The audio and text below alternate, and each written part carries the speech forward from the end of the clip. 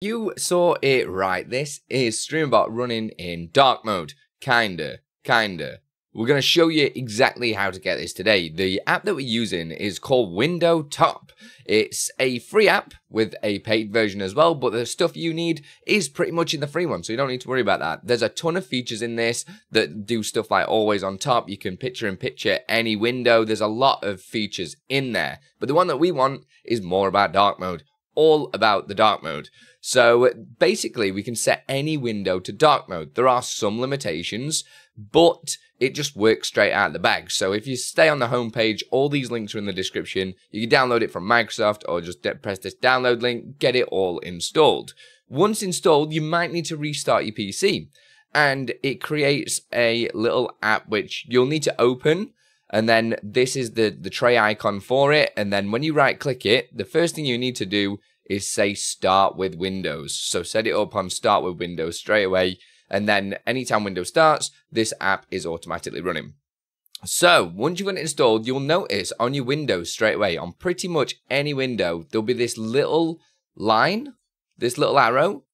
You can just see there. When you highlight over it, this is how you can set your dark mode, do your picture in picture and everything like that. Even the opacity of the app itself, which is really cool. So if I bring this down, you can see through the app, which is just what? This is crazy. There's some really cool features in this.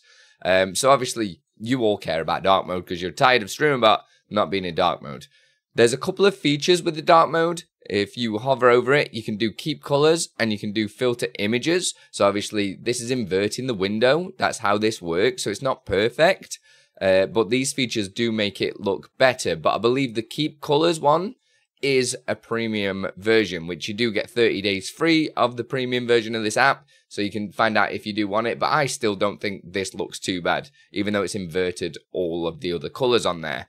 But everything that you open, it will show up. There are limitations though. If I open up the variables app, it takes a second and then it remembers, oh, this one needs to be in dark mode. So you might get blinded for a second and then it changes, but if you're look, prolonging you're, you're looking at this screen, obviously it's a lot better to do it. You guys have been seeing me use it on my stream. Another thing to note that's quite important is certain windows will not work with this app uh, such as the execute code window. So if you're writing C sharp code, this window cannot be turned dark mode. But that's not a problem. You guys are not using this to, to, to write code, right? You're doing it in VS Code. You are doing it in VS Code, yeah? There are a ton of settings for this app as well. So if I open up the settings menu and I'll go to all settings, there's a bunch of nice, quick, easy access settings that you might want to get sorted. So I'm going to click dark mode and it will give you an example of how dark mode works. Everything you want to know about this app, it is well documented inside of here. You can set a hotkey for how you want the dark mode to come on. So I've mine uh, set to shift and the key, whatever key that is next to number one. OEM8, I don't know what that means. Um, and you can set all your settings for this here. So now if I press um, that shortcut, it turns on and off dark mode. It does take a second for it to register, so just bear with it. Uh, there are a few other settings that I would recommend. There's tons to go through. Uh, so I'm not going to go through it all on this video because you only just want to talk about the dark mode, right? Uh, there should be the dark mode. Is this one that we already looked at? Um, so obviously, some more keep existing colors, avoid inverting, and everything like that. Something that some people do and don't like is this little bar at the top. Because um, this is going to appear on every single window, which allows you to obviously do all the different shortcuts.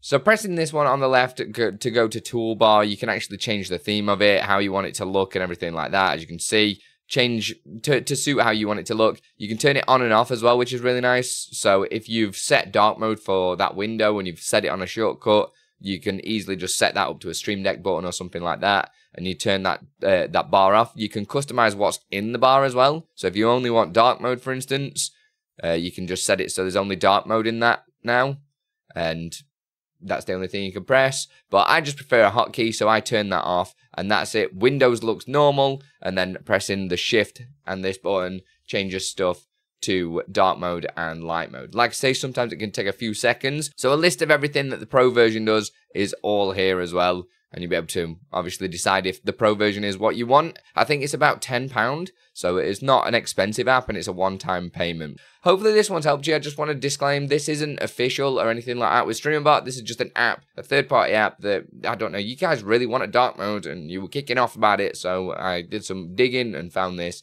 Hopefully, you enjoy it. If you do, like the video, also subscribe, share it with a StreamerBot friend, and I will see you in the next one. Put your rock over the stone.